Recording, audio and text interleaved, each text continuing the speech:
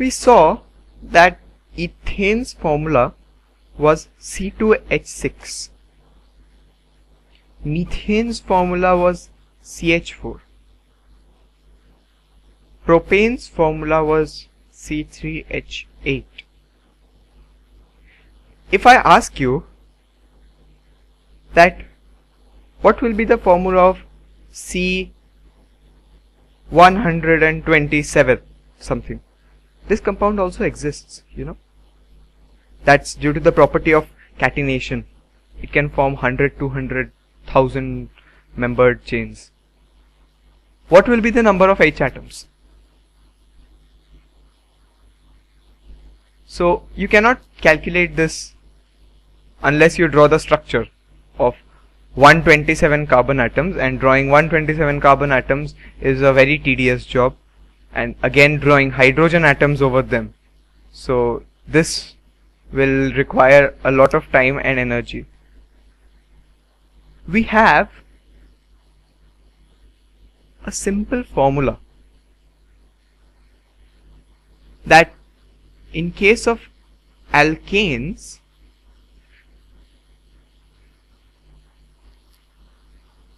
if the number of carbon atoms is n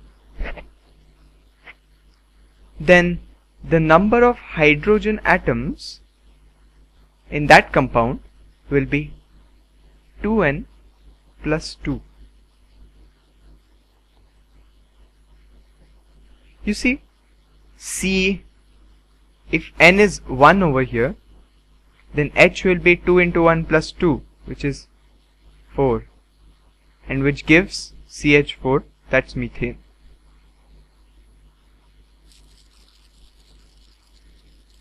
If N is 2 over here then hydrogen atoms will be 2 into 2 4 plus 2 6 so it gives C2H6 which is ethane. If this is 3 then it gives 2 into 3 6 plus 2 8 C3H8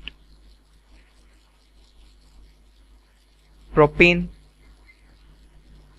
so now we can easily find what C127 will be.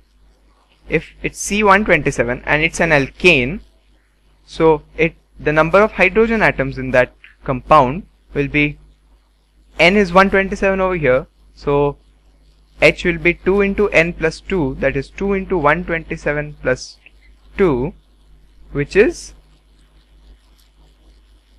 7 to the 14 5 254 plus 2 which is 256 so this will be C 127 H 256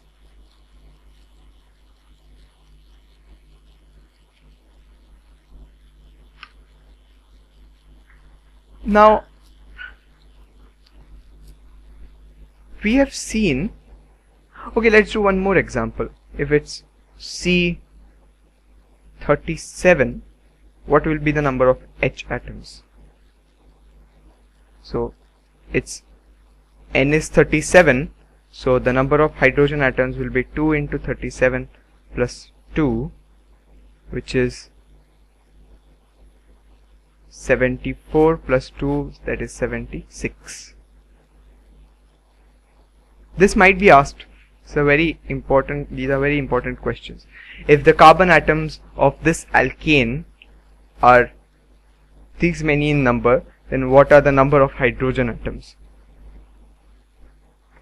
So, we know now that the alkanes have a formula, general formula. This is called the general formula of alkanes,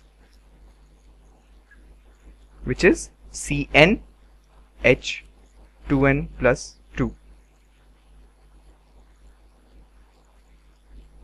Now there is a general formula for alkanes, there should be a general formula for alkenes as well.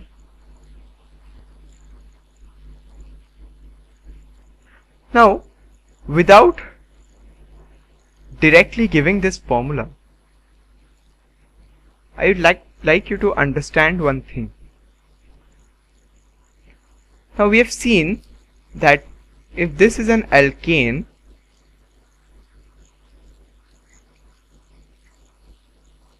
which is if you see it's three carbon atoms with only single bonds.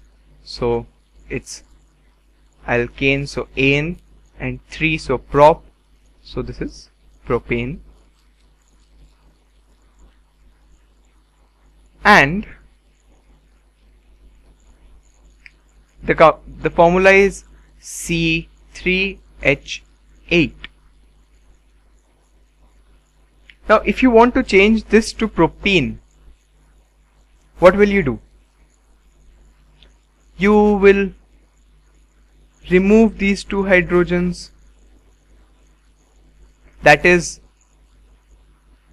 if you see it electronically or the, from the electron point of view there are shared at shared electrons. Let me draw it a bit bigger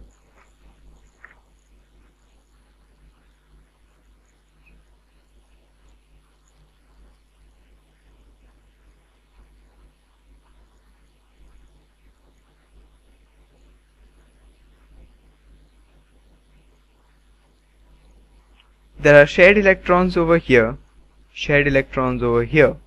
So when this bond breaks one electron goes with hydrogen one electron remains with the carbon atoms.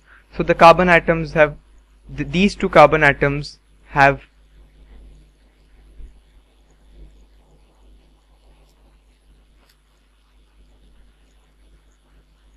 one electron each after the removal of the two hydrogens so these two electrons will form a bond and which will give rise to a double bond.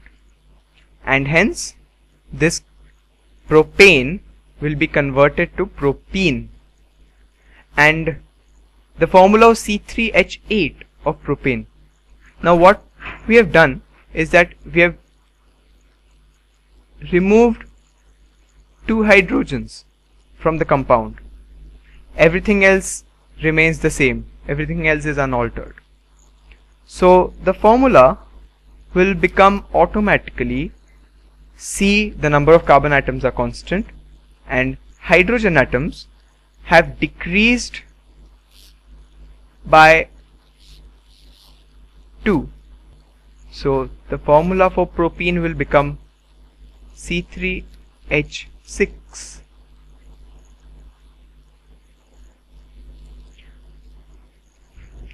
So basically what we are doing is that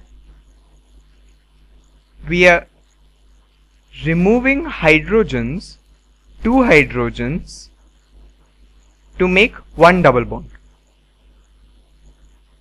So if an alkane contains 2n plus 2 hydrogen then removing two hydrogen will give us 2n hydrogens and the number of carbon will remain same. So from the general formula of alkanes which is CnH2n plus 2 we remove two hydrogens and make one double bond and so it becomes an alkene but removing two hydrogens will lead to a change in the general formula which is CnH2n plus 2 so removing two hydrogens will make this 2n plus 2 2n so the general formula for alkenes will become CnH2n